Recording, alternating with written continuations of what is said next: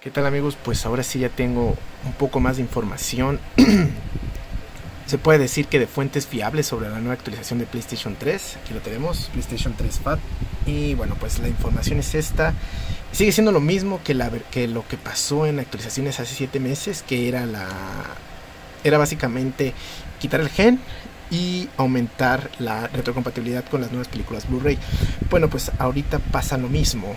Volvieron a meter case o sea, nuevas llaves para las nuevas entregas, las nuevas películas, las, que, las nuevas que están llegando Blu-ray y bueno, pues aumentar la compatibilidad con esta consola.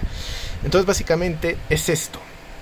En esta actualización es lo mismo que la anterior, aumentar la compatibilidad con las nuevas películas Blu-ray y eliminar el, gen, básicamente. Nada más que ya hay gen ahorita, eh, algo así estuve leyendo. No estoy muy seguro, pero ya, ya puedes hackear la consola. Eh, sin embargo, yo te recomiendo que busques más información sobre eso porque a lo mejor tú tienes hack y la actualizas y todavía el hack está el hack está actualmente pues no te va a servir del todo. Entonces es mejor que lo investigues.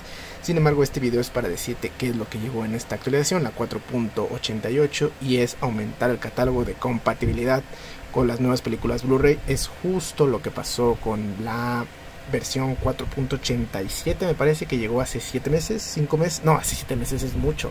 Hace unos pocos meses que yo hasta subí el directo, dije, wow, están...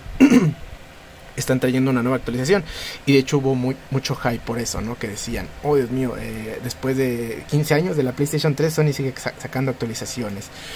Así que bueno, básicamente decían en todos lados que era mejorar el rendimiento de la consola, pero ese mejorar rendimiento de la consola a mí es eliminar el hack de la consola y además dentro de eso aumentar la compatibilidad con las nuevas películas Blu-ray. No sé por qué no lo dicen de golpe y por qué se lo ocultan. Es, tedioso lidiar con eso. Deberían de decir de una vez, en, no sé, hasta en el Twitter de Sony.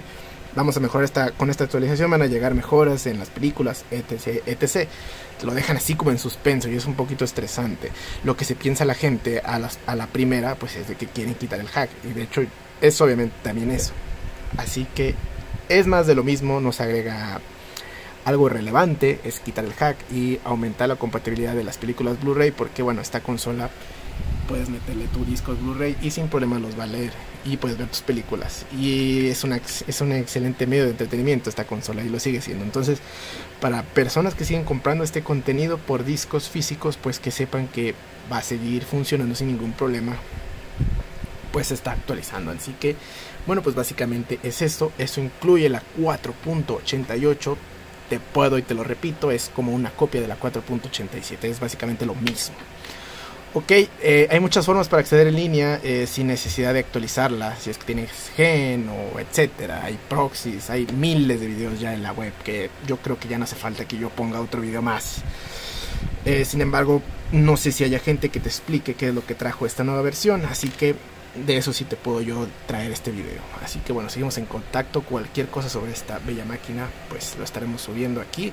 Estaremos investigando, como es el caso cuando dieron la noticia de que iban a cerrar la tienda. Yo lo subí ese, en, ese mismo tiempo.